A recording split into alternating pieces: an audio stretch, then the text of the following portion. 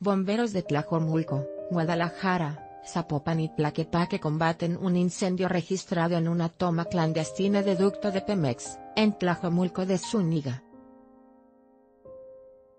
El director de Protección Civil y Bomberos Municipal, Rodrigo Arellano, informó que el siniestro se dio en el kilómetro 2.5 de la avenida 8 de Julio, en las inmediaciones del fraccionamiento Terranova. Estamos esperando que disminuya la presión del gasoducto para poder continuar con las labores de extinción del incendio. Las llamas alcanzan una altura aproximada de 30 metros, hasta el momento no ha sido necesario desalojar a los habitantes de la zona.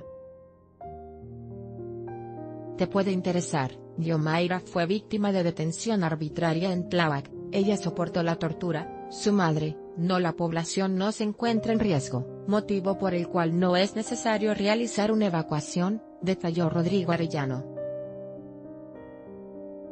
En el lugar, las autoridades localizaron ya calcinados siete vehículos, dos tipo minivan, tres camionetas de 3 toneladas y dos camiones de carga con equipo de cisternas para la ordeña de combustible.